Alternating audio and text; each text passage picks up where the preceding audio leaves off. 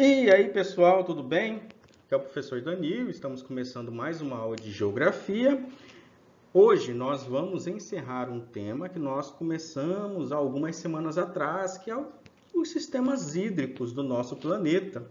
Já estudamos sobre os oceanos e mares, depois os rios, após os rios, as águas subterrâneas. Na semana passada foi sobre as geleiras e hoje, para encerrar esta unidade, esta temática, vamos estudar sobre os lagos. Quero começar lendo um texto com vocês. Esse texto fala da definição né, sobre o que é lagos segundo a geografia. Eu peço que vocês acompanhem a leitura comigo, por favor. Lagos são águas continentais, ou seja, nós não vamos encontrar lagos nos oceanos e nos mares.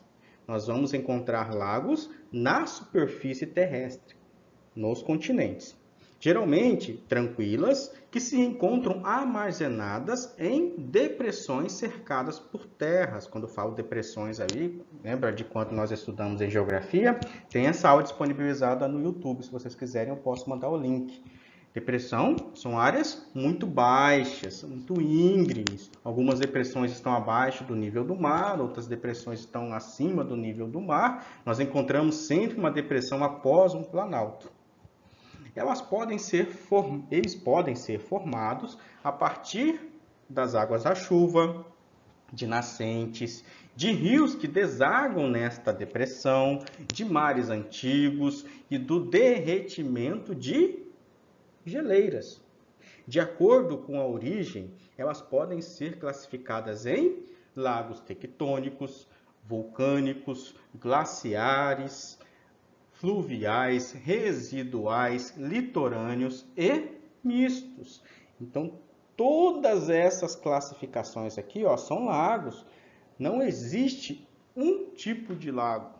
Existem vários tipos de lagos. E eu quero apresentar nesta aula aqui para vocês, ok? Quero começar pelos lagos tectônicos. Quando nós estudamos lá atrás, na formação do relevo, expliquei para vocês como ocorrem os processos tectônicos. E quando eu falo de tectonismo, estou falando sobre o movimento das camadas da Terra, da placa, das placas tectônicas e os terremotos. Opa, caiu aqui. Os lagos tectônicos são águas continentais que estão acumuladas em deformações na crosta terrestre, ou seja, quando o solo ele se movimenta, ele pode alterar o relevo. Nós estamos vendo aqui uma área. Nesta área aqui, ó, estão vendo um rio? Vamos supor que este terreno aqui se movimente por causa das placas tectônicas ou por um abalo sísmico, um terremoto. E neste abalo sísmico, terremoto, o movimento da placa tectônica provoca ali um rebaixamento do solo. Nós sabemos que passa um rio ali. E vamos supor que ocorra a acumulação dessa água do rio nesta área onde ocorreu esse abalo sísmico, terremoto ou movimento de alguma placa tectônica ou do solo. Pode formar um rio.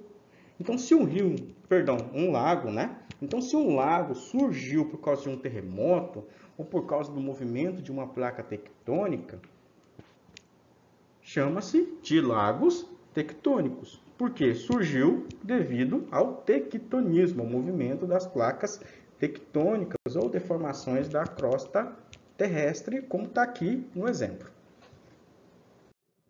Seguindo, nós temos os lagos vulcânicos, que, segundo a definição, basicamente são águas armazenadas em crateras de vulcões extintos. Quando eu falo vulcões extintos, é vulcões que não estão mais em atividade. Em uma forma mais popular, são vulcões que morreram. Então, nas crateras onde saía, onde ocorriam as explosões, saía o magma derretido, as lavas, onde produzia toda a atividade vulcânica, quando o vulcão morre, pode se tornar um lago mas de que forma? Talvez através da chuva, através do derretimento de geleira devido à região onde localiza-se esse vulcão, ou a altitude, a altura desse vulcão. Quanto mais alto o relevo, menor é a temperatura. Pode ter alguma nascente nesta área que pode armazenar a água e formar lagos vulcânicos. Em seguida, nós temos os lagos glaciares. Sua origem está relacionada com a ação de geleiras continentais e de montanhas. O peso do gelo pode gerar depressões no terreno e acumular a água pelo descongelamento, ou seja, vamos supor que aqui no inverno tenha muito gelo. Aí vai juntando camada de gelo, camada de gelo por 20 metros de camada de gelo. O peso do gelo pode rebaixar o terreno. E quando chega o verão, por exemplo, a água no gelo vai derreter e a água vai escorrer, com exceção da água que ficou nesse rebaixamento. Que nem esse, esse exemplo aqui, ó. Lembrando também que muitos lagos podem surgir por causa do degelo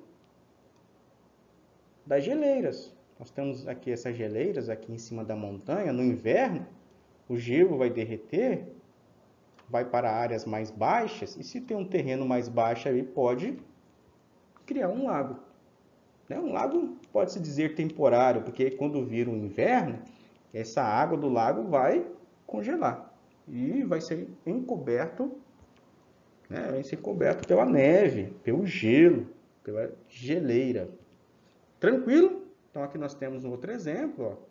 Gente, nós podemos entender ou compreender se é um lago glacial, que essa água aqui, ó, em grande parte, veio por causa do derretimento das geleiras. Temos os lagos fluviais. Quando falamos fluviais, estamos falando das redes de rios, certo? São formados a partir de um rio, conforme está dizendo no texto. Muitas vezes, ao longo de cursos de água, os sedimentos podem acumular-se em um meandro e represar a água do rio, formando um lago. Ou seja, pessoal, vamos supor, temos esse rio aqui, ó. Esse rio, ele formou um lago aqui. A gente pode perceber que a água, ela continua o curso, mas em algum momento os sedimentos é aquela terrinha, né, o solo que é carregado pela água. Em algum momento talvez se acumulou aqui nessa região, nesta área, talvez há 50, 60, 100, 200, 300 anos atrás, foi acumulando, acumulando e foi fechando e impedindo com que a água do rio continuasse seu curso. Existem alguns lagos que recebem água de rio e quando ele enche, esse rio continua seu percurso, como se tivesse uma entrada e uma saída. Ok? Lembrando que para ser considerado um lago tem que ter uma profundidade muito grande, tem que ser cercado pela, pela superfície terrestre. Aqui um outro exemplo, ó.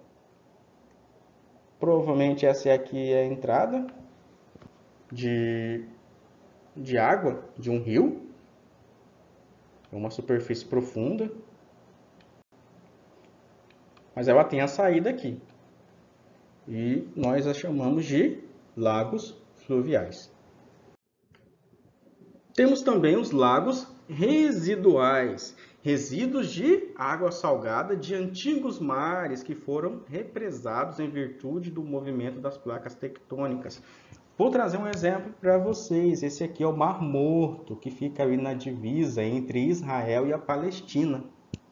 O Mar Morto ele tem uma grande concentração de sal. Então, até convido vocês a pesquisarem depois no YouTube, por exemplo, coloca lá Mar Morto Reportagem. Escreva assim. Vai ter muita reportagem das pessoas, os turistas que vão conhecer o Mar Morto, né? Tem uma quantidade muito grande de sal que faz com que as pessoas flutuem, não afundem. É um assunto um pouco difícil até para eu tratar o porquê que as pessoas ah, é, flutuam, né? Porque entra ali mais na área da química.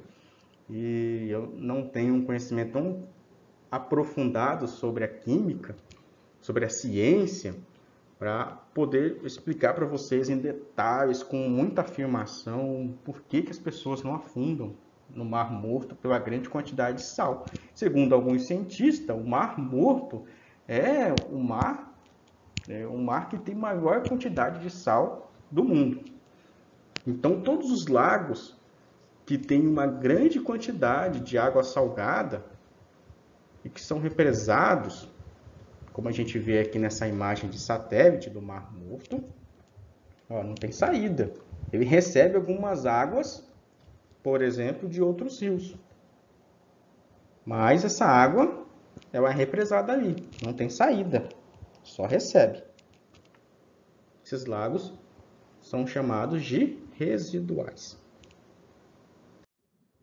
Temos os lagos litorâneos. Os sedimentos depositados no mar pelos diversos cursos de água podem represar parte da água do mar, formando os lagos litorâneos. É o um exemplo aqui, ó, dessa imagem de satélite. Talvez algumas centenas de anos atrás não havia essa faixa de terra aqui, ó, essa faixa de solo. Não havia. Mas com o movimento das ondas, da maré, foi empurrando os sedimentos, ele foi acumulando aqui. Porém, o que era para aqui ser a praia, esse sedimento acumulado aqui criou um lago. E esse lago que fica próximo ali, ó, sempre divisa com o mar, é chamado de lagos litorâneos, como nós estamos vendo aqui nessa fotografia. Essa fotografia não é no Brasil, certo? Na Flórida, nos Estados Unidos, nós temos aqui o mar. Esse sedimento trazido pelo mar foi acumulado aqui. E antes aqui, que era tudo mar, que era tudo junto, né? Era um só, acumulou a água do mar aqui, ó. Você vê que ela tem uma entrada, uma saída, porque a onda lança a água do mar para dentro do lago litorâneo e quando acumula ali o lago litorâneo, joga um pouco, devolve para o mar. Então, quando vocês verem uma paisagem como essa, um lago próximo ao mar, vocês já vão saber que são lagos litorâneos. Aqui já encerrando, nós temos os lagos mistos, que são formados a partir da soma de vários fatores determinantes que favorecem a acumulação de água. Um exemplo disso seria um lago que tivesse, é, que tivesse se originado a partir da ação de geleiras e da irregularidade da crosta terrestre, sendo formado, portanto, por dois fatores determinantes distintos, diferentes. Né? Vamos dar um exemplo.